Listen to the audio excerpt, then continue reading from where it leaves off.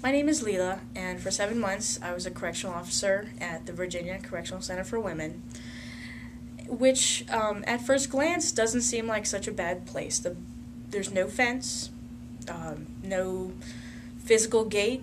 Um, the buildings are all red brick, uh, designed uh, in Jeffersonian style, so it looks like a college campus, but it's very harsh for the women that live there and I know there's a lot of hardship and loneliness that goes on in that place. And here's one example.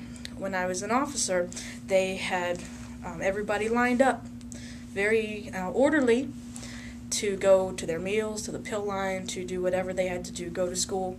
In the morning, when I was getting off my shift, they were going to breakfast. And uh, because we didn't have a fence, we had a guard on them all the time guard at the beginning of the line and at the end. And the guard at the end was in a car and said, Hurry up, hurry up.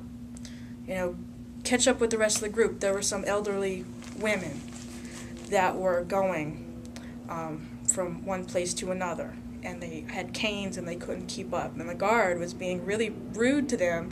And I was surprised because to me, he always struck me as a nice person. But he's being very mean to these women.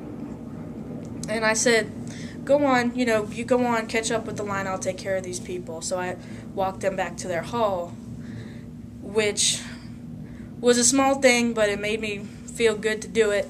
Um, and they were very appreciative that I helped them out and let them go at their own pace. But that's just a small example of how everything adds up to create loneliness and despair in a correctional facility. And that's one of my stories.